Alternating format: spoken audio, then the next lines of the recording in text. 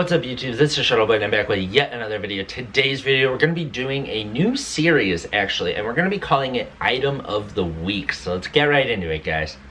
Alright, so this new series called Item of the Week is basically going to be a series where I'll do it semi-weekly, but it's really just, uh, you're only to get one of these videos once a week. Um, but um, I'm to be doing these videos where for that week, uh, there might be some kind of clothing item, whether it be a t-shirt, a jacket, some pants, or sneakers that I'm really feeling recently or I have some serious strong opinions about and it might not be something new. It could be something that came out years ago that it just kind of uh, came back in my mind recently. I've been thinking about it more recently and I just want to speak my thoughts about it or it could be something that um, is coming out soon or in a way distant future. Let's just go straight into the item of the week for this week and maybe you guys will understand a little bit better of what this series exactly is. But this item of the week is actually going to be,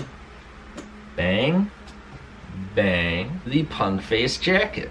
So it won't always be golf wang, it won't always be sneakers or something like that. I'll try to keep it so it is at least somewhat of a unique idea every time that it's not just constant repeating. Um, but this item of the week is going to be the punk face jacket here. Um, now, if you guys do or do not remember, um, this was one of the first golf drops after Flower Boy that was like a legit drop. It wasn't just Flower Boy merch. It was the first real golf wang drop, if I remember correctly. It also came out um, with some punk face pants um, that I believe were denim material and all over punk face it was. There was also um, a sticker that was coming out of different sizes I believe too. There was a really big one and a really small one I know. And yeah it was really cool. Um, back in that time period um, we saw the jacket and actually in the lookbook uh, we saw a picture of Anwar Carrots shout out to him um, wearing the jacket in the model picture. And it was just a white jacket. Um, we did not see the back at all actually. And all we saw was that it was a white collar jacket um, with some nice um, colored buttons on it and then it just had a little yellow tag uh, on the side that is indicating golf wang and then eventually uh, I don't remember how we found out, but eventually they flipped it and showed us the back, and then we were like, holy crap.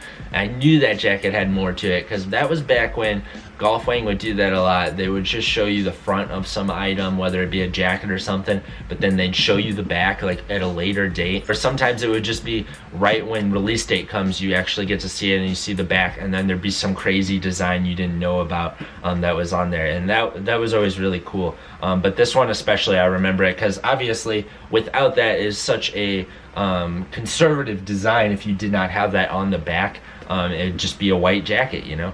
Um, but uh, yeah, I really liked this when it came out. I had to get it. Back in previous drops, they actually released Punk Face originally was on t-shirts and hoodies. Uh, I always thought that was really cool, but I never got it. Um, I wasn't buying Golf Wang consistently at that specific time period, um, but I do have some older golf from that time period.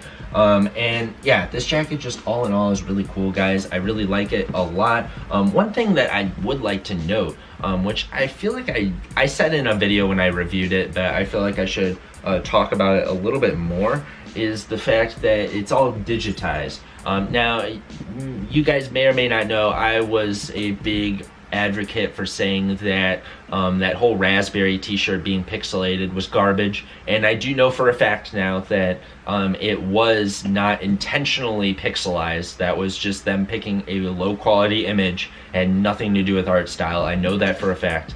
Um, they have told me that. Um, but uh, it reminded me about this because nobody gave the digitized or the pixelated look really any hate when this came out. Um, but I will say, as time has passed, and when I saw it in person, I was a little bit bummed when I saw that. Um, but obviously, in the image you're seeing now, it doesn't look too bad. But um, if you go really close to this, like, look at that. You couldn't even, if I just gave you this specific image you're looking at right now, you would have no idea what this is. Um, and um, personally, for me, I think that's kind of whack. But um, at the end of the day, it's supposed to be something that um, I think, at least in my opinion, it's something that from afar it's supposed to look really cool. Um, now, would I rather they just did it a higher res instead? Obviously, I without a doubt I would. Um, but I, I, still really like the jacket for what it is. Um, I think the lining is really cool too. I think that was one of the greatest touches of this jacket. If it didn't have that, I would probably be like, eh, this jacket's whatever. Um, but the touches of that, I also love just the copper touches um, when it comes to the logo on the labeling and being in that copperish color and just the buttons themselves. I think that was a sweet touch and it just fits really well too. I got a large and I'm like six foot one uh, around 170 and it fits me perfectly. I really like this jacket a lot. It has like a denim jacket kind of look and I really like that.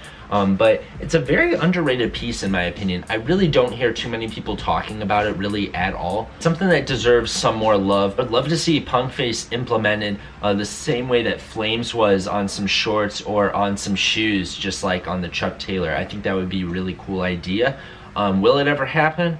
Yeah, maybe. I mean, we didn't ever expect that Flames was going to have this much um, to be released. Um, but then again, we didn't even expect that Punk Face would ever come back either. So, I mean, anything's possible, honestly, when it comes to uh, retroing of designs. But that is going to be my item of the week, guys. I hope you guys enjoyed this video. It's going to be a series that it won't be every week, but it is the item for the week.